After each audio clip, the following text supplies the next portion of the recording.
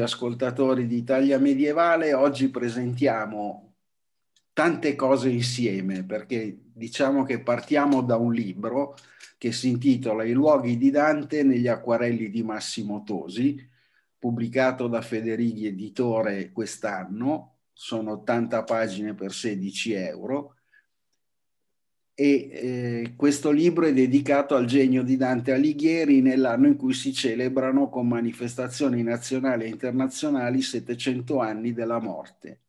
Firenze, Ravenna e le città che le hanno ospitate celebrano con convegni e mostre, mentre il, sommo, il volume è pensato per descrivere un aspetto importante della storiografia del poeta stesso. Massimo Tosi per lavoro e soprattutto per passione si dedica da anni a riprodurre con attenzione certosina antichi luoghi, edifici storici, musei, ma anche monumenti ormai scomparsi, che riesce a far rinascere con chine e acquarelli, grazie anche a ricerche e studi delle mappe.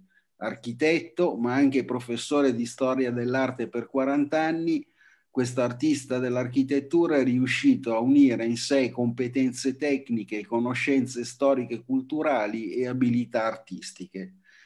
C'è da dire anche, prima di dare la parola al nostro ospite, che questo libro racchiude i, gli, tutti gli acquarelli relativi ai luoghi di Dante ed è anche contemporaneamente una mostra attualmente al castello di Poppi. Io non perdo altro tempo in chiacchiere e darei subito la parola a Massimo che avrà modo anche di farvi vedere i suoi lavori. Prego Massimo, a te. Eh, buongiorno, ti ringrazio Maurizio eh, per la bella presentazione eh, che eh, non meritavo.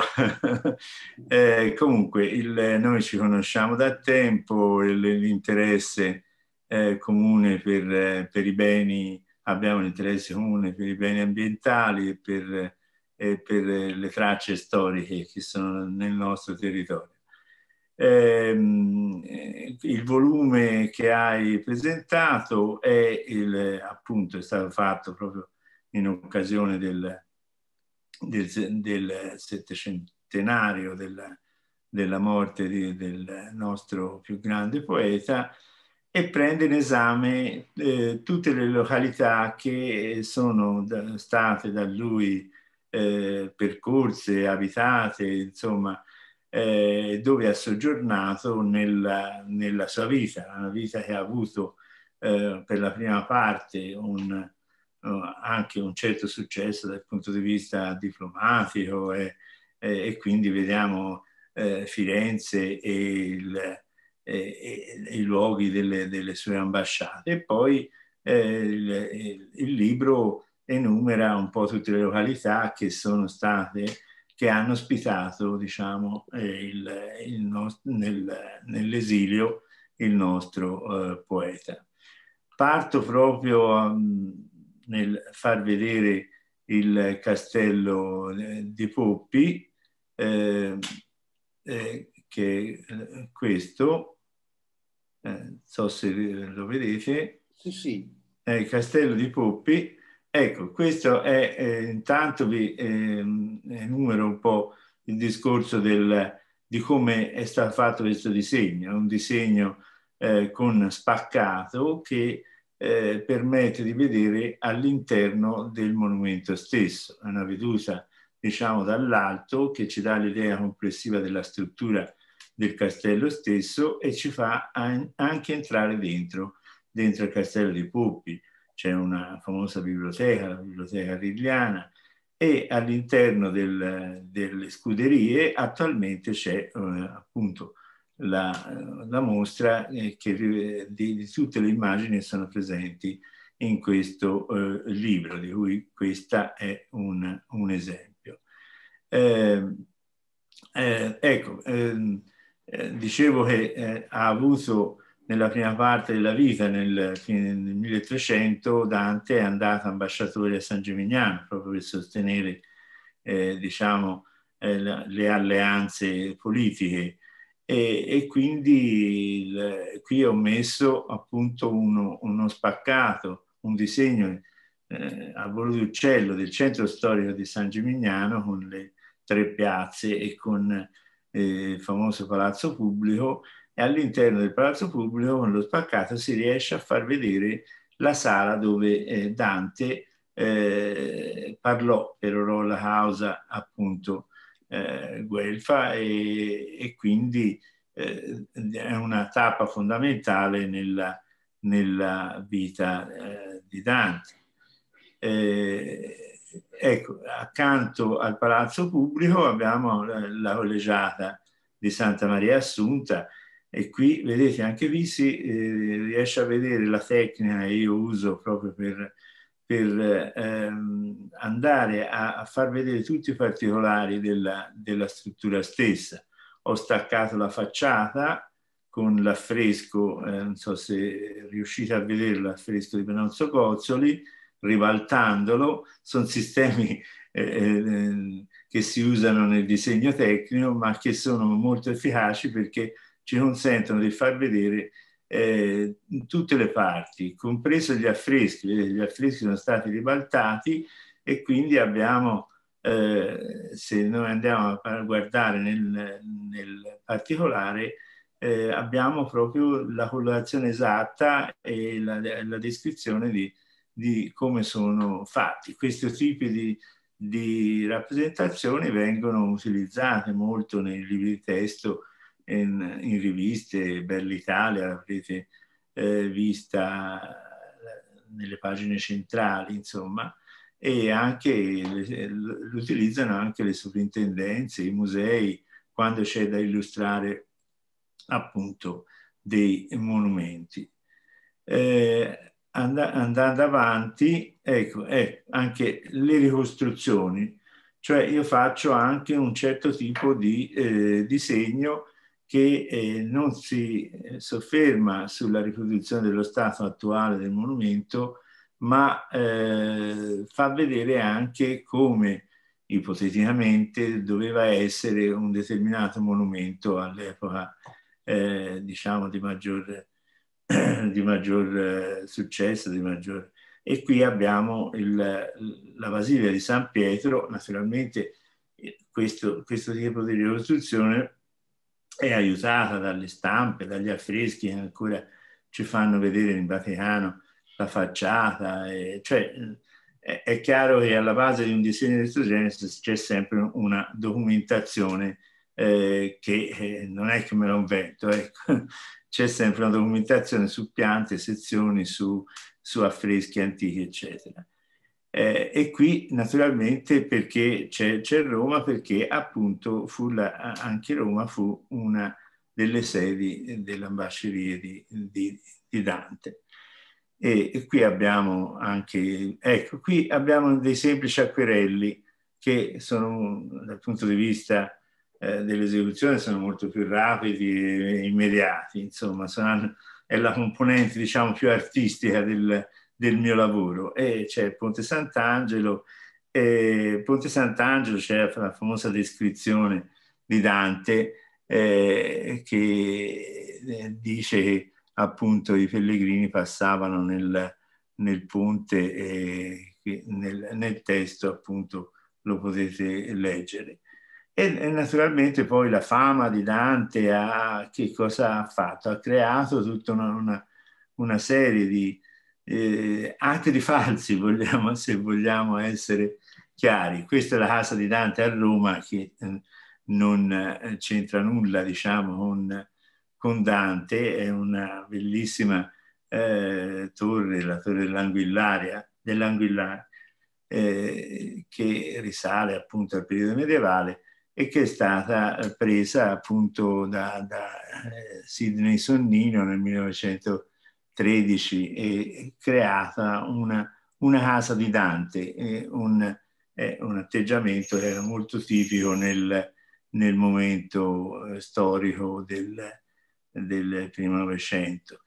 Eh, e, quindi questo per dire che la fama di Dante, eh, si, si, addirittura si creano anche case di Dante dove dove non, non ci sono, dove non c'erano storicamente. Ecco.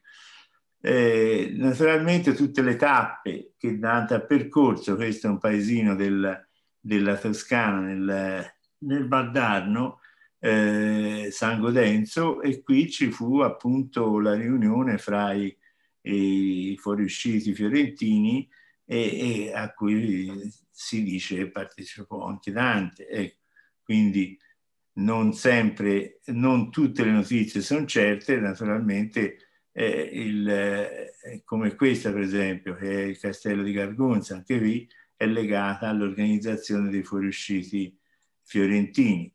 E, e, qui il disegno parla chiaro, ci fa vedere questo castello eh, che eh, di forma circolare, con la torre, con eh, le varie le, le, porte, insomma l'organizzazione i disegni danno anche l'idea di quello che era l'architettura medievale e quindi hanno un contenuto anche di tipo didattico, eh, descrittivo, che eh, si presta molto bene a essere introdotta nei libri di testo.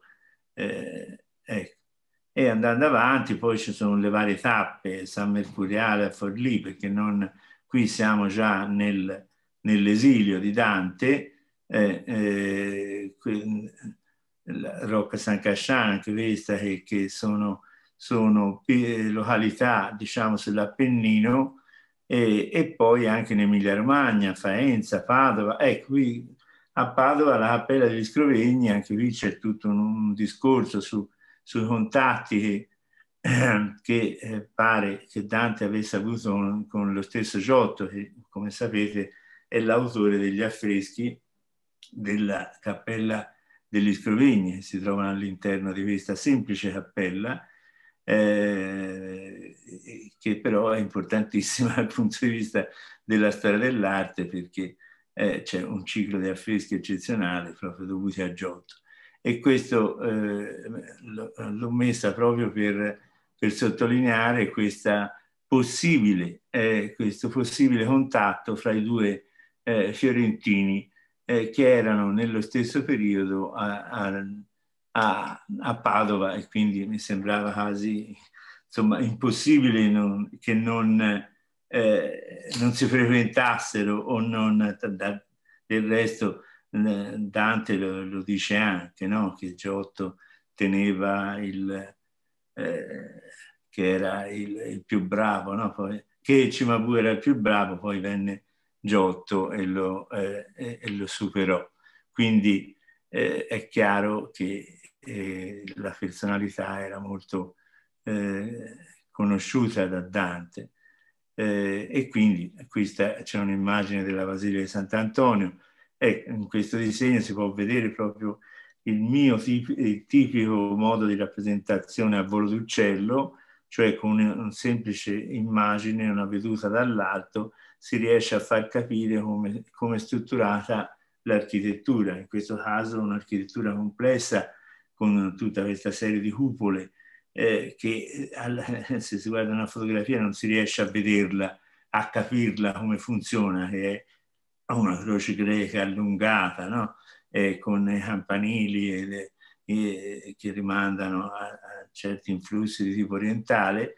In questo modo, con questo disegno, si riesce a capire eh, il, eh, il, la validità e la complessità della, dell'architettura. E qui ancora siamo a Verona eh, con eh, il Ponte Scaligero, anche questa è un'altra sede eh, di Dante, eh, dell'esilio di Dante, il Ponte di Dante, anche qui naturalmente ogni località ha cercato di calcare il, il ricordo, eh, le citazioni di Dante, nel testo le citazioni ce, ce abbiamo messe, di modo che c'è sempre un riferimento. Testo, vedete, è breve e, bilingue e, anche in inglese, per cui eh, il, il, libro si basa soprattutto sulle immagini, ecco. Il, il testo sono i riferimenti eh, e Castelnuovo Magra, Sarzana, qui siamo in Lunigiana, Lunigiana ci stette molto, un periodo abbastanza lungo, eh, con il castello di Fivizzano, con l'Erici, eh, con Fosdinovo. Fosdinovo è uno dei più bei castelli della Lunigiana, vale proprio la pena di andare a vederlo, eh, collocato su queste, su queste propaggini del, dell'Appennino. E, e, qui siamo a Poppi. Poppi è molto legato al, al Dante per due momenti.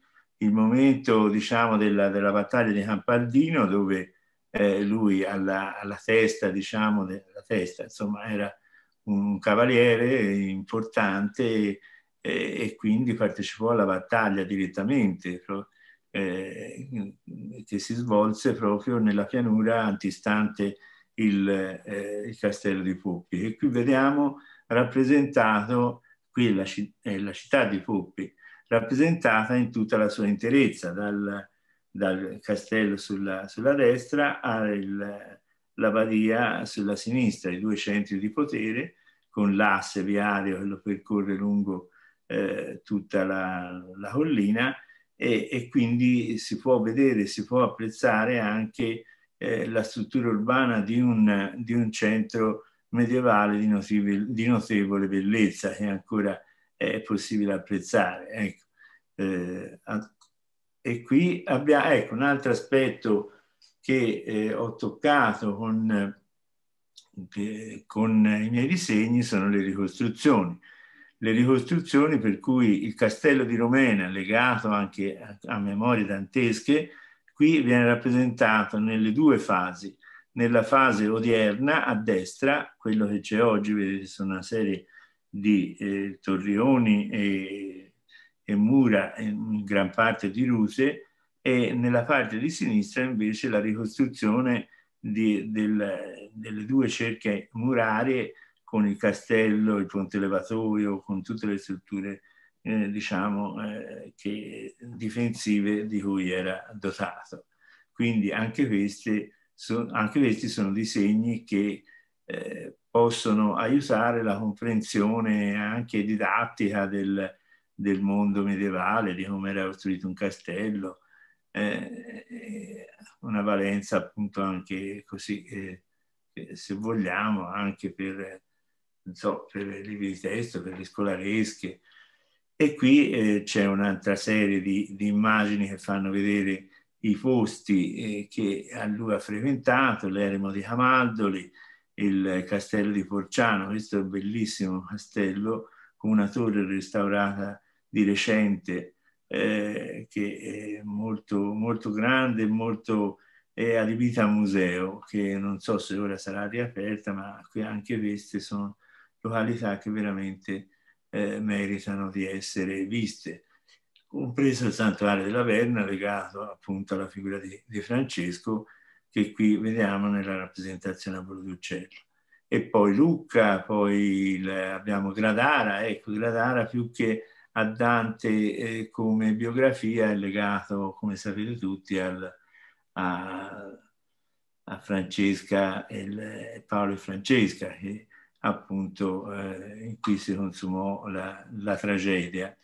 E, e, anche questo è un bellissimo centro eh, che viene rappresentato sempre a volo d'uccello. Ecco, eh, anche questa è interessante, una ricostruzione eh, a Pisa del palazzo del, dell'orologio e della torre della muda. Ecco, in questo disegno, che è un disegno un po' strano perché ci fa vedere la situazione attuale con le parti intonacate eh, e vedete anche due torri, una torre un po' più massiccia a, a sinistra e una torre eh, più snella a, a, a, destra. Queste erano le due torri originarie del, del, della Muda, del, di questo palazzo che si trova in Piazza dei Cavalieri a Pisa e che è eh, la torre dove avvenne anche qui un tragico, il tragico fatto del Contugolino, il Contugolino che fu chiuso nella, nella torre stessa e lasciato appunto morire insieme di fame insieme alla, ai figli e qui eh, nello spaccato vedete che c'è appunto il contugolino eh, ormai privo di, di, forze e i cadaveri dei, dei figli. Eh, e quindi c'è, eh, insomma, è un, è un, disegno che, questo addirittura lo feci per la scuola normale di Pisa, eh, perché attualmente c'è la biblioteca della scuola normale di Pisa, eh, e, e un, un, disegno che è stato pubblicato tantissime volte proprio per questo, questa descrizione ecco, accurata.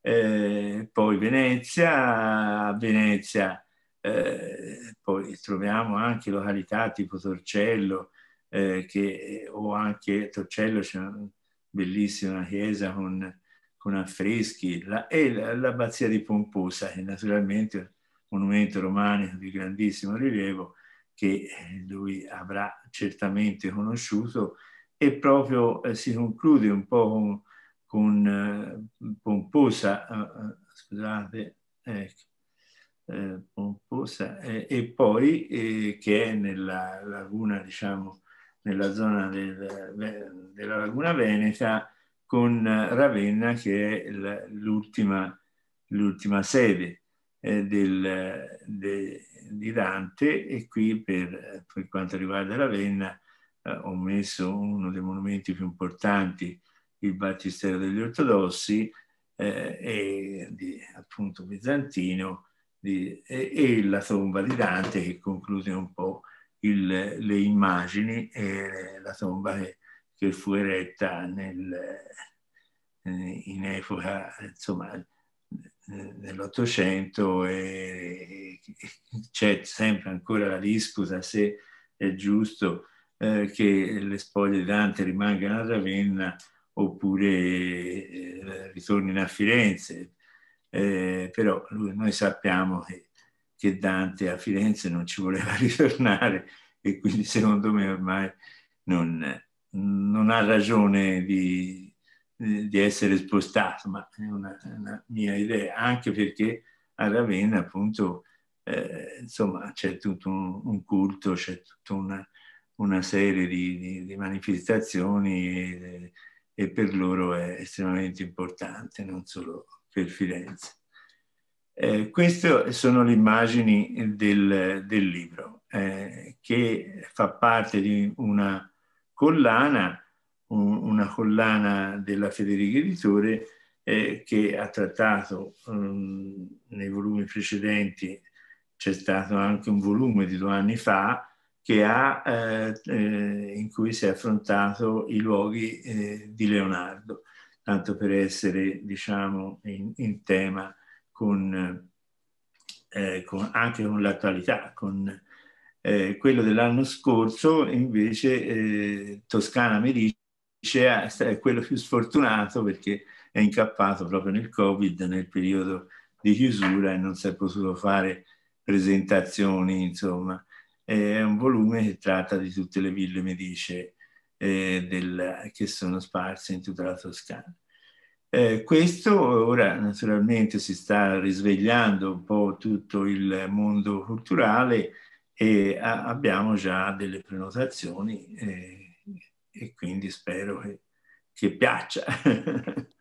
eh, io eh, come illustrazione Maurizio avrei finito è affascinante. Il tuo lavoro, io provo un'invidia incredibile perché non riesco a disegnare neanche le casette dei bambini, quindi mi chiedo ogni volta che vedo i tuoi lavori come diavolo fai e che pazienza devi avere per rendere in maniera così efficace, così precisa i dettagli particolari. Le, è veramente incredibile.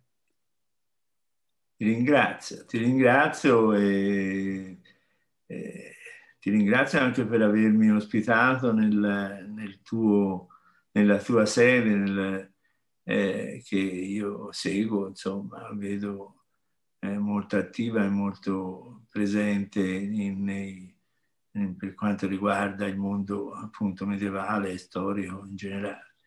Quindi eh, io saluto i, i tuoi eh, diciamo, eh, suoi interlocutori o chi, chi ti segue. E il, la mostra attualmente è a Poppi, naturalmente rivolgo un invito anche perché non c'è solamente la mostra mia, ma è un posto bellissimo da vedere e vale la pena di fare una, una girata, si dice noi in Toscana. Sicuramente, io invece ricordo il titolo del libro che è I luoghi di Dante negli acquarelli di Massimo Tosi, pubblicato da pochissimo e sono 80 pagine per soli 16 euro, quindi il mio consiglio è quello di correre a, ad acquistarlo perché merita. E, e, e, ringrazio tantissimo l'amico Massimo per, per, aver accettato il nostro invito a presentarlo con noi, fra l'altro facendocelo godere per quello che è il contenuto di queste 80 pagine preziosissime. Massimo, ti ringrazio tantissimo e spero di rivederti presto perché noi non ci vediamo da tanti anni. Quindi... È davvero, delle, eh da San Galgano mi ricordo. Eh? Esatto, un'amicizia nata a San Galgano, e, ma ormai sono passati veramente tantissimi anni. Tantissimi. Prima o poi do, dovremmo fare una rimpatriata, magari visto che adesso sembra che ci si possa muovere un po' di più. Eh, certo, certo. Bisogna che si organizzi. Grazie ancora. D'accordo. Grazie Maurizio, grazie, grazie. Buona giornata e a presto. A presto. Una